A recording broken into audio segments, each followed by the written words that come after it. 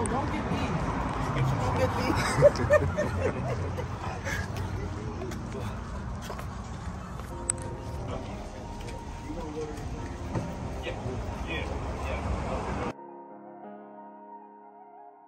What's up everybody, Y Davis here, back with another review. So I'm showing you guys the Air Jordan 1 Palomino.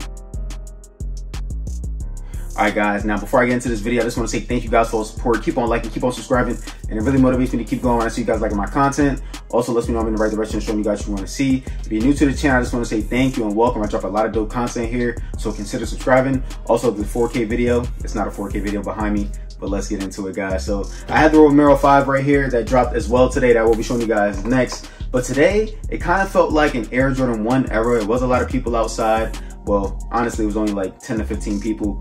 But um, it was good to see a little bit of a crowd and have a few conversations out there. Real sneakerhead type of stuff, but uh, let's get into it, guys. So this is the box right here, black box. We get the gold accents at the top, which is really, really dope.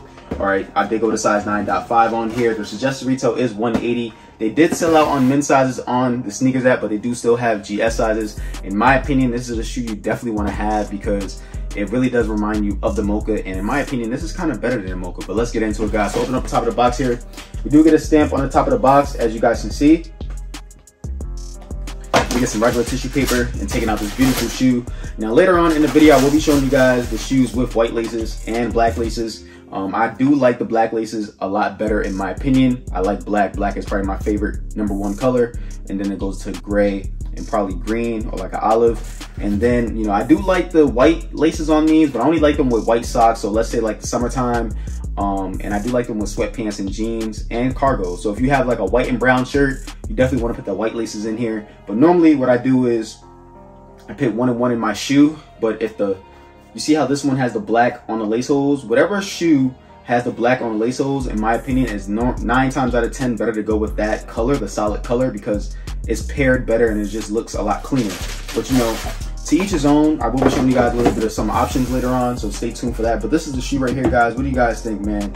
Cop or drop, let me know in the comments box below. You guys picking these up. These do have a little bit of resale value at the moment, but like I said, because of the whole mocha and it looking like a Travis Scott shoe, you know, these shoes will probably go up over time. So if you can, while it's sitting, get a double up. If you have a few extra dollars in your pocket, you know what I mean, just to make a good investment because this is like the stock market, except you have something liquid, in my opinion. But let's get into it, guys. So on the bottom of the shoe here, we do get this Palomino brown on the bottom. All right, we see the Nike with the swoosh in the middle right there. Looking at the midsole on the shoe, it is a white on both the outside and the inside of the shoe with the white stitching. Now coming up towards the base of the shoe on the shoe here, we get majority of a black, but then towards the back half, we get this brown Palomino. And it does have a slight pattern change when you move your hand past the suede, but not that much. It does have a very slight pattern change, even on the swoosh here, but not that much. Once again, we do get some brown stitching on the swoosh and on the brown patterns and on the black patterns on the shoe. It is on the black stitching.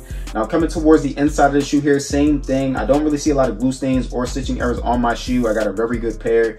And like I say, guys, these are a must have in my opinion. It's black, it's brown. You cannot go wrong with this color scheme on a lot of different clothes. So, you know, this, in my opinion, is a must have, especially for the price of 180 to 220 you can't beat it. Looking at the toe box here, these will crease up pretty easily on you. You can use my code of YDavis on creasebeast.com to save yourself five bucks off Creasebeast protection.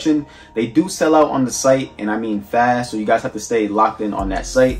But you can use my code YDavis for a discount. Looking at the mudguard here, we do see some black, a little bit of glue stains there white white stitching and we see the very detailed stars creeping up from the bottom of the shoe. Now a little bit of a disappointment on these. They only did come with black laces so technically you know they did see it as only being with black laces but you can put white laces in them. I took the white laces out of my lost and founds just to show you guys what they look like but we do get a black mesh tongue on this shoe and at the top here we get like a yellow nike air with the swoosh in the middle.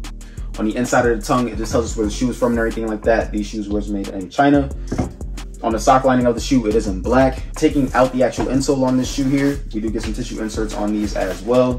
The insole is in black. We do get the cheap insoles. We get the fake um, Dream Cell insoles on this, as you guys can see right here. So a one step downgrade from the Dream Cells, but they do still feel pretty comfortable on feet in my opinion. On the actual logo, it does say Nike Air in like a gold, and we get the size of sticker over top of the logo, not on the bottom of the logo. All right, underneath the actual insole, it is gray with some black and white stitching, and we get a thin piece of tape in there. The production dates on this was 02, 01, 23 to 03, 17, 23. I'm gonna give you guys a quick look at the inside of the shoe right there. All right, coming towards the back of the shoes here, we get the black leather at the top of the back of the shoes. We do get that brown Palomino, black, and then it goes back down to that brown Palomino on the bottom of the shoe, all right? Now, I'm showing you guys my foot is in the toe box right now. Okay, guys, so this is what they look like on feet. Pretty clean in my opinion. Now, I'm a true size 9. I'm going to get 9.5 in on my shoes. I did go up half a size on these. If you have a wider foot or need a better wearing experience, I suggest you go a half size up. You can go full size up, but in my opinion, you might as well go a half size up. It's just a better wearing experience in my opinion. Now with that being said, I'm gonna show you guys my foot is in the toe box. So I'm working around, but if you guys cannot tell, my big toe is right here. I do have a little bit of space in the front of the toe box, but not that much. And this shoe is unlaced, as you guys can see, and I have no slippage on here at all, just in case you guys are worried about going half a size up and want to see, you know, how it looks on foot. But these are really amazing. They feel really nice on feet, even though we don't have the Dream Cell insole on these. But I'm gonna show you guys with like some different pants options right now. Okay, guys, hope you guys like this video. Make sure you guys like, comment, subscribe. Show your boy some love and stay tuned.